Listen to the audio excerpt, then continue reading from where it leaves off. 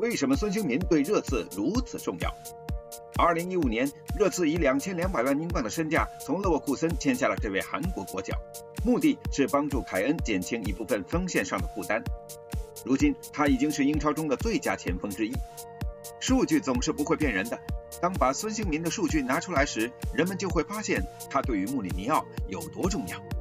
一韩国欧巴的进球能力一直在上升，在他为热刺效力的五年当中，他的进球贡献一直在稳步上升。在他的处子赛季中，他的进球和助攻占热刺全队的百分之十五，上赛季上升到了百分之三十三，打进十八球，助攻十一次，甚至超过凯恩的百分之三十。本赛季到目前为止，孙兴民贡献了十一个进球和五次助攻，在热刺总进球中占百分之四十七。二，韩国欧巴他的个人能力一直在上升。根据尼尔森报告，当孙兴民加盟热刺时，他的综合能力排在全球第一百三十七位。二零一七年五月，他挤进了前一百位。而在对阵西汉姆之后，他的排名来到了第二十五位。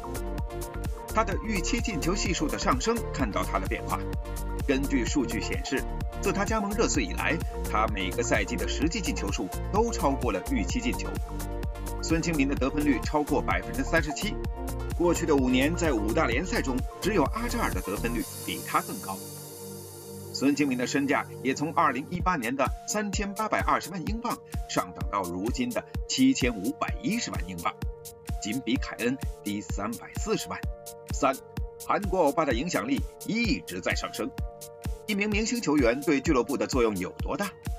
一项调查显示，有一千一百万韩国人承认热刺是他们最喜欢的海外俱乐部，这相当于韩国人口的百分之二十一，比英国本土的热刺球迷数量还多。